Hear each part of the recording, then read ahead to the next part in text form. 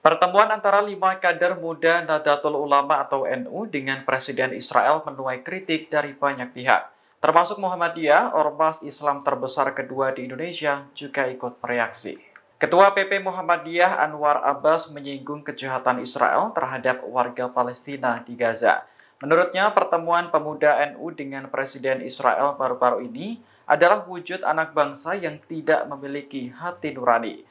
Anwar mengatakan jika memang tujuan pertemuan tersebut untuk mengubah tindakan Israel terhadap Palestina, maka dirinya menilai hal tersebut adalah upaya yang sia-sia.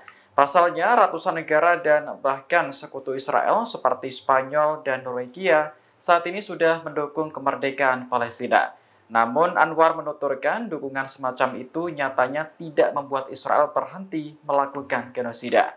Sebelumnya, foto lima pemuda NU yang bertemu dengan Presiden Israel, Isaac Herzog, viral di media sosial. Pertemuan ini menuai kontroversi dan kecaman dari berbagai pihak.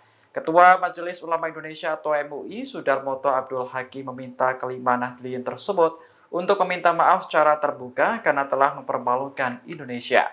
Atas kejadian ini, PBNU juga telah menyampaikan permintaan maaf dan menyebut pertemuan itu bukan atas nama organisasi.